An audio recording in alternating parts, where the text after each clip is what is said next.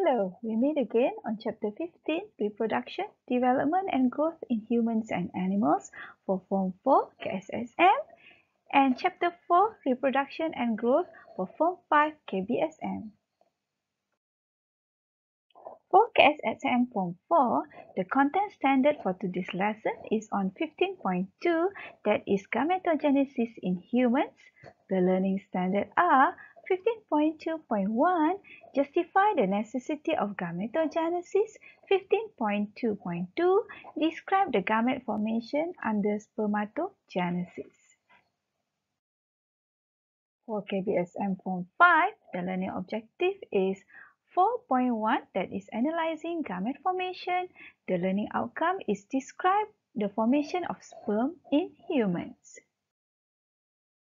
Now we look at the longitudinal section of a testis. Each testis has about thousands of seminiferous tubules. These are all the seminiferous tubules. These seminiferous tubules are fine, long and compactly coiled tubes. You can see they are highly coiled. So all these tubules are joined to a single much coiled tubes which is called as epididymis. So this spermatogenesis, that is the process of sperm production, will take place here at this seminiferous tubule. Each seminiferous tubule consists of primordial germ cell or in Form 5 textbook, you can see it is written as germinal epithelial cell. So this primordial germ cell or germinal epithelial cell will undergo cell division to produce sperm. The Sertoli cell, you can see Sertoli cell there, that is within the walls of seminiferous tubule will provide the nutrients throughout the process. Sperm is then transported from the seminiferous tubule to the epididymis just now to flow out via the vas deferens or sperm duct. Spermatogenesis is stimulated by two types of hormone that are the first one is follicle stimulating hormone or known as FSH and the second one is testosterone.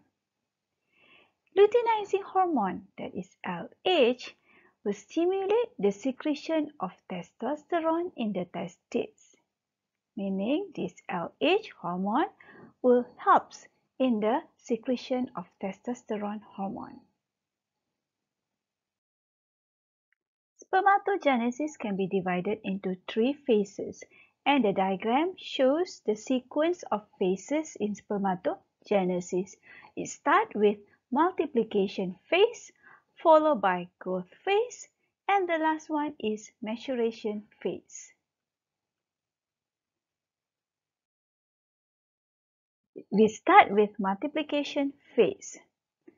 Started with primordial germ cell or in Form 5 textbook, germinal epithelial cell. This primordial germ cell or germinal epithelial cell will divide by mitosis Okay, primordial germ cell divide mitotically, that is by mitosis, to form diploid spermatogonium. So this is spermatogonium, spermatogonium, spermatogonium, spermatogonium. Plural, it is known as spermatogonia. Next is the growth phase. In the growth phase, each spermatogonium will develop, will grow into primary spermatocyte. This is primary spermatocyte, which is also diploid, still diploid, that is 2N. And the last stage is maturation phase. In maturation phase, primary spermatocyte will undergo meiosis 1 to form two secondary spermatocytes because it undergoes meiosis 1 from diploid that is 2n, it become haploid n. And Each secondary spermatocyte again will undergo meiosis 2 to produce two haploid spermatid. Each one will produce two, so you have four spermatids there. And spermatids will un undergo the process of differentiation to form what we call as sperm or spermatozoa. The spermatids will obtain the nourishment, that is the nutrient, from the Sertoli cell just now. And it will develop the tail and mature into sperm. So it started with spermatid and then when it matures, it becomes sperm. We have come to the end of today's lesson. So the next video will be on the formation of ovum or oogenesis. So click on the subscribe button to learn more about oogenesis in the next video. To test your knowledge on this topic, click at the quiz link at the more info section. Good luck and see you again. Bye.